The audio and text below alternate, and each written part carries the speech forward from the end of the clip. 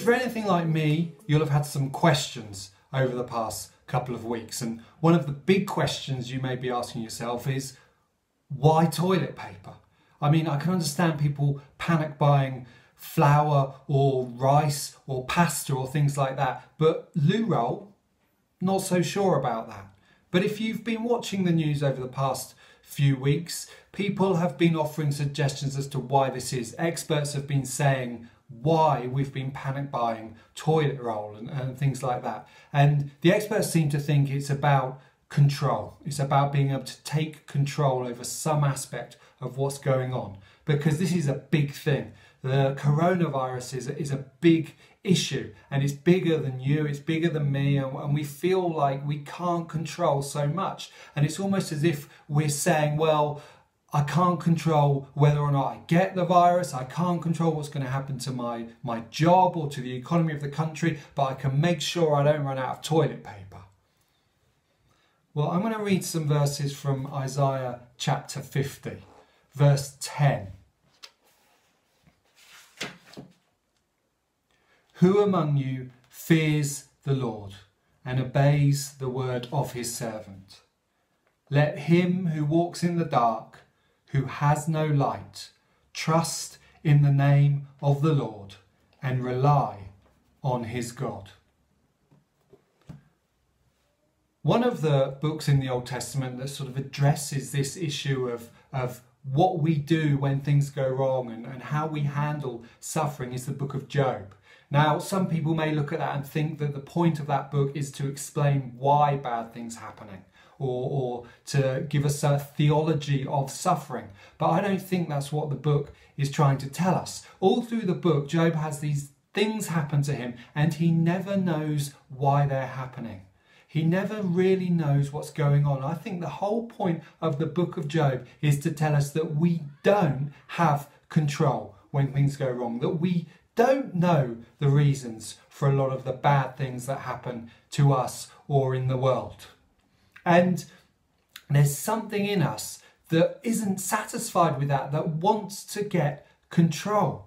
Sometimes, as followers of Jesus, we use our faith as a way of actually trying to get control. It may sound like those words in Isaiah, we're trusting in the Lord, we're relying on God, but really what we're trying to do is we're trying to get control back. We say to God, well, if I do certain things, or if I pray a certain way, or pray certain prayers, then God sort of owes me.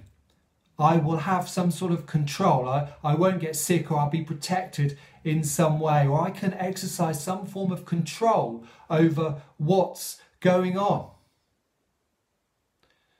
The writer of Isaiah says, no, the only thing we can do in moments like this is rely on God, trust in the Lord. And that doesn't mean using our faith to try and manipulate God or as a form of actually just trying to make ourselves feel better because we, we feel like we're getting some control back. You know, and our faith becomes it's not in God, it's in our prayers or it's in the formula we followed or, or something like that. The prophet in Isaiah actually contrasts a view, uh, a, view of, uh, of dealing with uncertainty.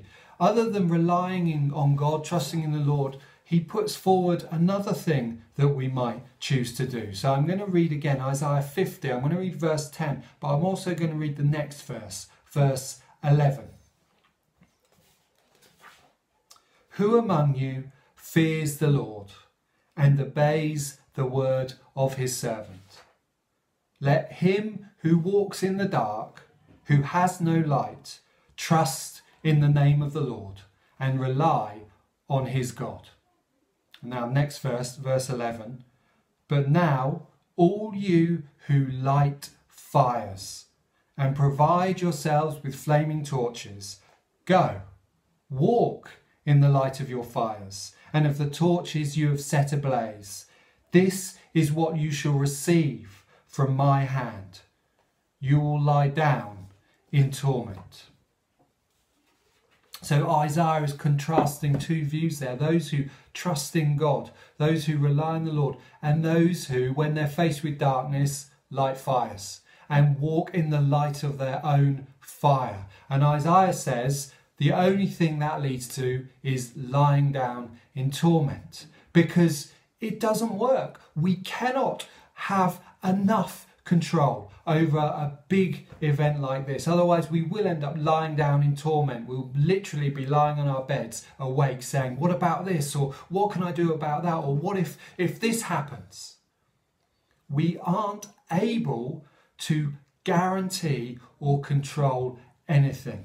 We can take steps. In fact, the government suggested uh, the self isolation, social distancing, closing uh, everything down except for key workers and essential journeys and things like that. And those are good things because those are acts of love. By that, we are trying to protect the vulnerable in our society. We're trying to prevent the, the NHS from being overloaded. Those are good steps we can take. But there's all these other things we do, like panic buying or, or trying to make deals with God, manipulating God. They're really about us trying to take control of a situation that is bigger than us. And Isaiah says what you're doing there is instead of trusting God in the darkness, you're lighting your own fires and walking by the light of your own fires.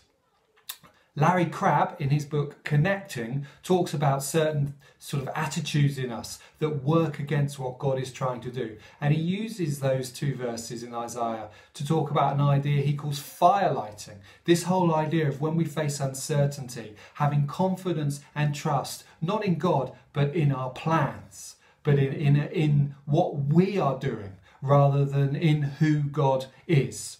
And it's uh, interesting because I recognize that in myself that that des- that desire to to get confidence and comfort from the steps I am taking rather than in trusting in God.